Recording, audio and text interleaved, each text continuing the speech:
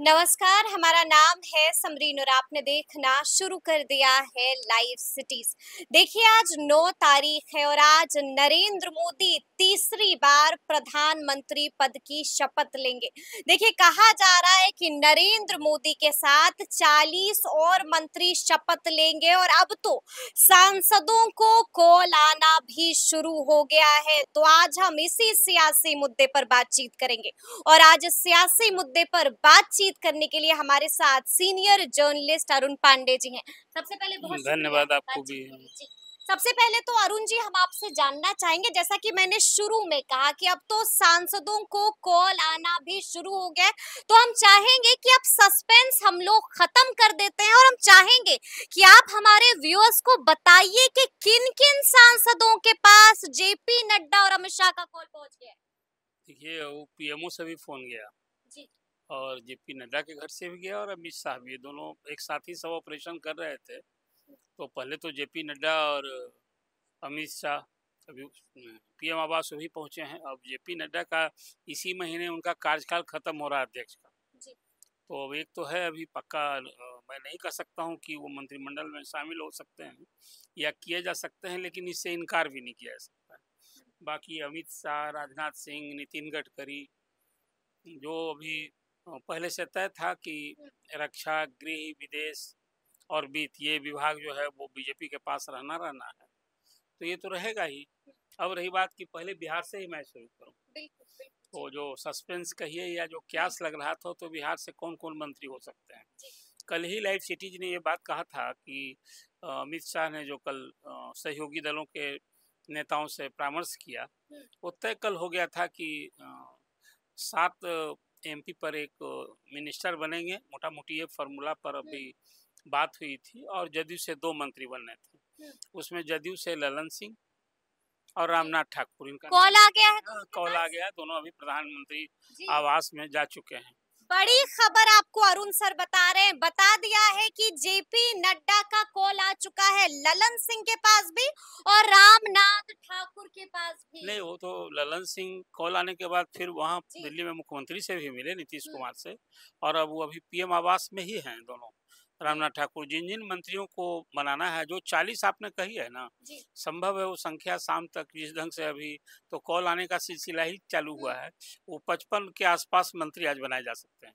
पचपन के आसपास मंत्री बनाए तो उसमें एक, बिहार से दो हो गए नित्यानंद राय को भी कॉल आ गया गिरिराज सिंह को भी कॉल आ गया। नित्यानंद राय को भी कॉल आ गया है और गिरिराज सिंह को भी हाँ, कॉल आ गया अब पहले से ही आपने खुलासा किया था। कि जीताराम मांझी का और चिराग पासवान को तो तय है ही। तो इन दोनों के को भी कॉल आ गया ये लोग सभी पीएम आवास पहुँच चुके हैं। जी जी जी। तो बिहार से अब यही नाम है। यानी कि आपको अरुण सर ने यहाँ पर छह नाम बताए हैं जिनके पास कॉल आ चुकी है और अब वो पीएम आवास हाँ हाँ उनका। मंत्रिमंडल तय हो गया है वो आज अभी। पीएम आवास पर आज जिन लोगों को बुलाया गया है उन्हीं लोगों को बुलाया गया है जो मंत्री बनाए जाने वाले हैं। अभी उसमें सबसे एक इंटरेस्टिंग नाम आया वो तमिलनाडु के प्रदेश अध्यक्ष बीजेपी के जो अन्नामलाई चुनाव हार गए थे। लेकिन मंत्रिमंडल में वो शामिल किए जा रहे हैं। हम्म, एक उनका भी नया है नेबरिंग स्टेट झारखंड है। हम्म, तो वहाँ से अन्नपूर्णा देवी और सुदेश महतो। ये दोनों को कॉल आया है दोनों पीएम आवास पहुँच चुके हैं। और इसी तरह से सभी राज्यों में मैं देख रहा था अभी कि 30-35 तो नाम सामने आ चुके हैं। हम्म, जो लोग पीएम आवास और धीरे धीरे अभी कॉल हो ही रहा है। तो कुल मिला जुला जैसा मैंने फ़ोन की घंटी ट्रिन ट्रिन हाँ हाँ बज रही है कॉल हो रहा है और हाँ, सब लोग वहाँ बैठ करके जिसको कहिए कि फ़ोन रिज़र्व सभी लोग रखे हैं कि बस अब कॉल आ गया। हम्म, बिल्कुल टकटकी लगा हाँ तो सबका है जैसे यूपी में भी सब उसी तरह से जो अनएक्सपेक्टेड कहीं कुछ नहीं दिख रहा है। एक मुझे देखा जैसे अभी हम्म। तक भूपेंद्र यादव का कॉल नहीं आया। हम्म। लेकिन वहाँ अर्जुन मेघवाल को कॉल आ गया राजस्थान से। अब वो शिवराज सिंह चौहान जो एक्स चीफ मिनिस्टर हैं हाँ। काफ़ी वोट से जीते हैं वो भी उनको भी कॉल आया वो भी पहुँच हम्म। चुके हैं। लेकिन लेकिन अरुण जी एक हैरान करने वाला नाम आपने बताया आपने बताया कि गिरिराज सिंह गिरिराज सिंह के पास भी कॉल पहुँच चुकी है लेकिन ये तो अनएक्सपेक्टेड है इसकी तो हमने चर्चा भी नहीं की थी ना ही कयास लगाए जा रहे थे ये तो अनएक्सपेक्टेड गिरिराज सिंह तो अभी मंत्री थे ना एक बात थी कि उम्र के कारण शायद वो इस बार विवेक ठाकुर को हाँ। जगह मिले लेकिन अब लॉटरी उन्हीं का नाम लग गई देखिए अभी बीजेपी के फायर ब्रांड नेता हैं वो देखिए उनके बारे में तो ये भी कहा जा रहा था कि उनको इस बार हो सकता है कि बीजेपी रिपीट नहीं करे और टिकट नहीं दे लेकिन टिकट भी मिल गई है गिरिराज सिंह को और अब आप कह रहे हैं कि मोदी कैबिनेट टिकट नहीं तो हो हैं। जीत भी गए ना जीत भी गए हैं जीत गए और इसके बाद वो जैसा मैंने आपसे कहा हम्म। कि बीजेपी के एक फायर ब्रांड नेता है वो हम्म। अपने बर बोलेपन के लिए जाने जाते हैं। और ग्रामीण विकास मंत्रालय था उनके जिम्मे तो मैंने कहा कि देखिए अब तो प्रधानमंत्री का नहीं विवेकाधिकार है। प्रधानमंत्री जिसको चाहे उसको मंत्री बनाए। हम्म, एक बात मैंने कल ये भी कही थी आपसे। कि 240 सीट बीजेपी को आई है इस बार। हम्म। अकेले बहुमत भले नहीं आया हो हम्म, सहयोगी दल के बूते वो सरकार बनेगी और वो सरकार गिरेगी भी तो कहीं कोई बात ऐसी हो जाएगी। लेकिन खैर आज तो अभी सरकार बननी जा रही है। गिरिराज सिंह पर भरोसा क्यों किया बीजेपी की हनक रहेगी ये बात जी, जी। जो देखिए बिहार से भी दो नेता जो थे ना। या हैं कहिए उसमें गिरिराज सिंह और दूसरे अश्वनी चौबे हम्म। जब नरेंद्र मोदी चीफ मिनिस्टर थे गुजरात के उन दोनों यही दो नेता उनके बहुत करीब थे हम्म। आ, वो एक अलग है कि अब जिन कारणों से या कहीं कारणों से अश्वनी चौबे इस बार चूक गए उनको टिकट नहीं मिला हम्म। तो गिरिराज सिंह का पहले से बक्सर ही हार गए हाँ बक्सर। बिहार गई। तो गिरिराज सिंह का वो नरेंद्र भाई मोदी से उनका पुराना संबंध है। और एक बीजेपी लीडर के रूप में भी तो एक तो कहीं ना कहीं फार फायर ब्रांड नेता के रूप में तो उनकी छवि देखिए नहीं मंत्री के रूप में कम। लेकिन नेता के रूप में तो उनकी छवि हमेशा वो रही बनी इस तरह से। हमेशा बयान आते रहे विपक्ष पर हमला बोलते रहे।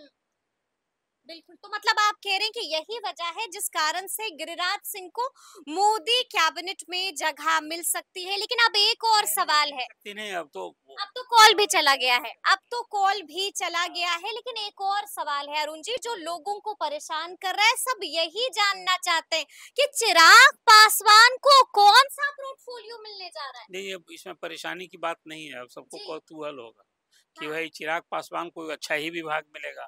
मोदी के हनुमान है और आपको याद होगा कि रामविलास जी जब भी मिनिस्ट्री में रहे तो अच्छा विभाग मिलता था। और एक छवि तो और क्या पिता वाला विभाग मिलेगा नहीं अभी देखिए ये अभी विभागों मंत्रालय को लेकर कोई क्यास लगाना मुझे लगता है कि आपसे जल्दीबाजी। होगी। लेकिन चिराग पासवान को या जीताराम मांझी को। तो विभाग तो ठीक ही विभाग मिलेगा। देखिए कोई विभाग बुरा थोड़े होता है। अब वो चार विभाग तो मैंने आपसे कह दिया। कि चार विभाग तो रहना है बीजेपी के पास। उसमें कभी जब अटल जी प्राइम मिनिस्टर थे ना तो जॉर्ज फर्नांडिस को रक्षा मंत्री उन्होंने बनाया था। हम्म। लेकिन अभी तो अब नरेंद्र मोदी की गवर्नमेंट में तो ये चार विभाग जो क्या रेल मंत्री भी बिहार से होंगे? अभी इसे इनकार नहीं किया जा सकता है लेकिन इससे इनकार नहीं किया जा ललन सिंह को संभव ऊर्जा मंत्रालय मिले।